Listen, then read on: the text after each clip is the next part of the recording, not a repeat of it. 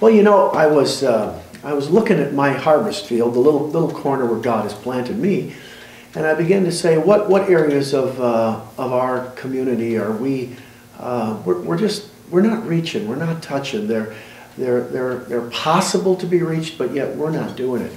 And the Lord just began to show me that, uh, that we had this university in Midland, Northwood University. And we decided to pioneer a Chi Alpha group over there. Um, so about seven years ago, well, about six years ago, uh, we started taking our Bible study from the church and meeting on campus. And as we began to do that, we realized that there were many students there that were hungry for spiritual things. And so they started to get involved. And finally, we got to the point where we said, hey, we can make a whole worship service out of this. And uh, on Thursday nights, we gather together, and anywhere from 50 to 60 people on a Thursday night uh, gather together to, to worship, to pray. Uh, I'll bring a message, and, um, and it's really a time of uh, encouragement for the students uh, that they get to hear a sermon presentation, God's Word in their language. And, and the more I spent time praying about that, thinking about that, went over and drove around the campus, it was just like, this is your responsibility. Don't expect somebody else from, from someplace else to come here and have a witness on this university, but you, you take that responsibility, Pastor Joel, and, and I think that's how the Lord led us that direction.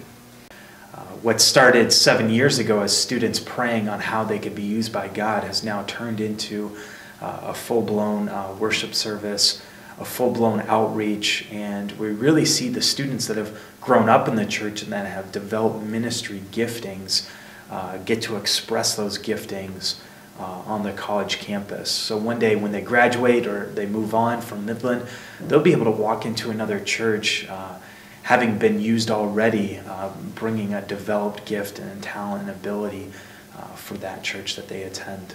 This year, um, we have seen an explosion. Uh, I think we've seen this year what we've, what we've sown for, for five, six, six years. Uh, the, the, the midweek attendance, they call it Church Reloaded. Their, their church service on Thursday nights is running stronger than it's ever, ever ran before.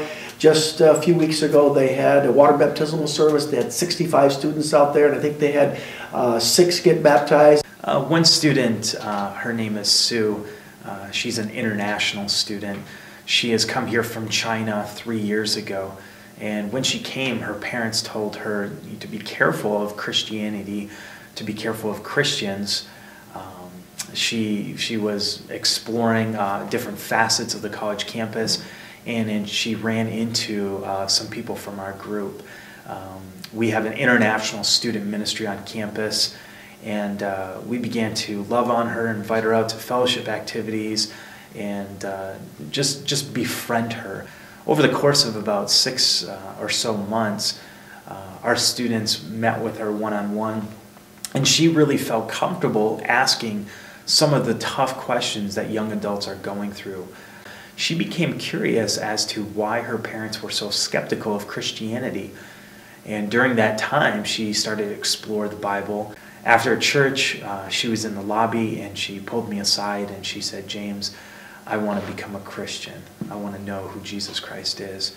We're seeing a lot of good results now, but it's taken a while. It didn't happen all at once, but uh, as we have been faithful and we've stuck with it, it, it has really come to pass. Well, for the last four years, my wife and I have really had a passion to start a, a new church. And the district had called us about the church in St. Helen and uh, said the church was closing the doors and, and really down to just two people in the church. And they wanted to know if I would be willing to uh, oversee both churches. And, um, and I just thought this would be a great way to get our feet wet and to learn a little bit about uh, starting a new church. It wasn't anything I ever asked for. I enjoyed being an associate pastor. I thought I'd be youth pastor for life. Um, it just happened on, on a Sunday morning. I just began to feel a stirring in my heart, and it really stuck with me all week long. To finally, on a Saturday afternoon, I sat down with my wife and I said, I've really felt this week so strong in my heart that God is calling me to be a senior pastor somewhere. and we really need to pray about it. She gave me a look that said, Who are you and what have you done with my husband, Mr. Associate Pastor for Life? We took our team and went over to St. Helen to start the new work and really used uh, kind of a team effort uh, to build the St. Helen Church up.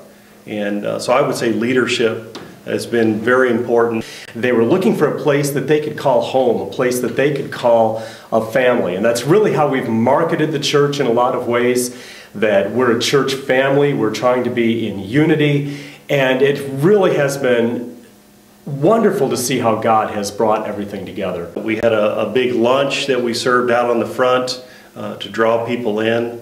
And so it has just been awesome to see new families coming in, people being saved.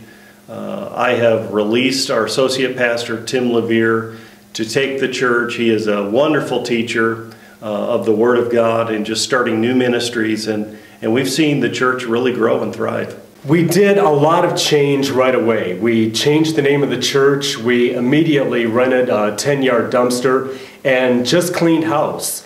We just went through the basement and the upstairs and we just uh, tried to make things new, tried to make them fresh, tried to get a lot of a lot of cleaning done in the church, and really to let the church know that this was a brand new start. We were making all things uh, new again. It's a sacrifice to to start a, a, new work. Just the income that goes with that. Uh, we've continued to pay his salary uh, for about six months, and uh, also we have released a few of our core people to go over with uh, Pastor Tim and to help him. So, uh, but it has also created an excitement in the people. There is sacrifice, but well, I'm also seeing that it's it's it's creating excitement in West Branch as well.